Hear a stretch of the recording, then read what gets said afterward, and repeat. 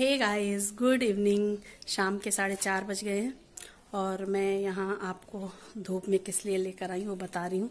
धूप तो बहुत तेज है और ये धूप में ही उसका यूज़ कर सकते हैं। चलिए मैं आपको बैक कैमरा पहले दिखा देती हूँ। ये है सोलर कुकर इसको मैं गर्मी में बहुत यूज़ करती हूँ क्योंकि गर्मी के टाइम बहुत अच्छी धूप रहती है तो हर चीज़ बहुत जल्दी भुन जाता है या पक जाता है। तो इसमें खाना भी बना सकते हैं, दाल, चावल, सब्ज़ी, सब पक जाती है। और अभी फ़िलहाल तो मैं इसमें आटा रखी हूँ भूनने के लिए। दो दिन में आटा बहुत अच्छी अच्छी तरह से भुन जाता है, क्योंकि अभी इस टाइम गर्मी है तो बहुत तेज़ धूप रह रही है तो बहुत अच्छा भुन जाता है। मैं जो बेसन के लड्डू अभी आपको बताऊँगी बनाना तो मैंने बेसन को इसी में भूना है तो हमारा टाइम उतना बच जाता है भूनने का तो ये बहुत ही अच्छी चीज़ है। अगर आप लेना चाहें तो मार्केट में मिलता है। मैं किचन में आ गई हूँ और ये कढ़ाई चढ़ा दी है। इसमें घी डाल दिया है। सोलह कुकर अभी जो दिखाया था, उसमें ये बेसन भुना है।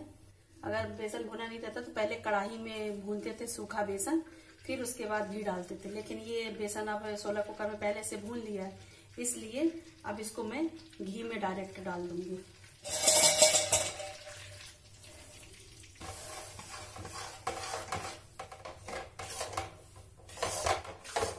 बहुत जल्दी कोई भी काम हो जाता है अगर भुनी हुई चीज़ रखी रहती है अपने पास तो ये बहुत ही जल्दी लड्डू बन जाएँगे आज बेसन के। आज रात को हम लोग गोलगप्पे चैलेंज कंपटीशन करेंगे। कौन करेगा पार्टिसिपेट आप करोगे मुँह से तो बोलो। यस और कौन करेगा आपके साथ? अच्छा चलो आज पापा वर्सेस बेटा गोलगप्पे चैलेंज करने वाले हैं। तो गोलगप्पे तो बाहर से खरीद नहीं सकते, इस समय तो मिल भी नहीं रहा है। तो मेरे पास एक आइडिया है।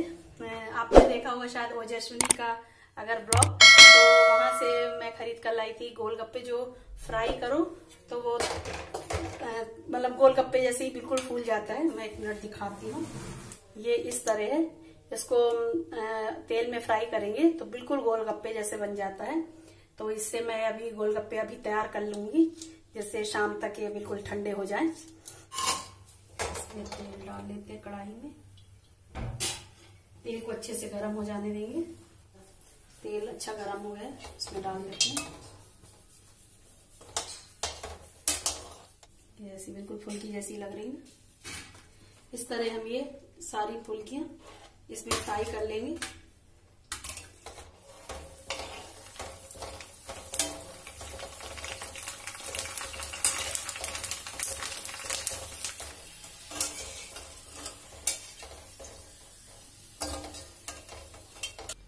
ये फुल्की रेडी हो गई। बिल्कुल मार्केट जैसी लग रही है फुल्की। जब बेसन ये फटा सा लगने लगे, तब मतलब बेसन भुंज गया। है बहुत कम टाइम में ये हो गया। ये ठंडा हो जाएगा, तब इसमें शक्कर का बूरा मिला करके लड्डू बाँध देंगे। गैस को आप बंद कर देते हैं। बूरा को चाल लिया चलनी से। इसमें हम बूरा को मिला देंगे। ठंडा हो गया, बस बिल्कुल हल्का गर्म है। थोड़ा ठंडा हो जाए तभी बुरा मिला देंगे नहीं तो लड्डू बांधते नहीं बनेगा।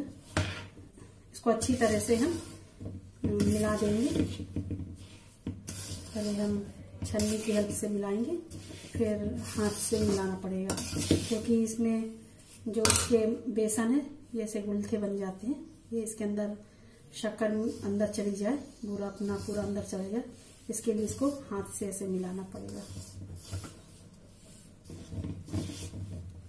इसको दोनों हाथों से ऐसे बिल्कुल मसल मसल करके पूरा मिक्स कर लेंगे। हल्का हल्का गरम है। हल्के हल्के गरम में ही आपको ये करना पड़ेगा, नहीं तो फिर लड्डू बंधेंगे नहीं। अब मैं देखिए इस तरह ये ऐसे गोल गोल करके लड्डू बना लेंगे। बहुत आसानी से बंध रहे हैं।